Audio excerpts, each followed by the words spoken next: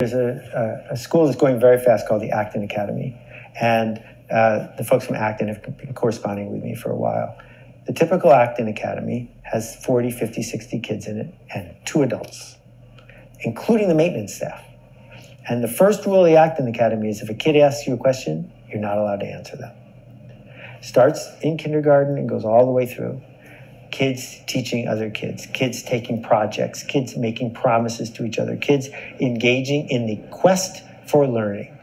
And so the question I would ask an employer in the modern age is if you got a chance to hire someone who's done that for 12 years, who has figured out how to master this craft, this craft, knows this, knows this, and can look up when the War of 1812 was.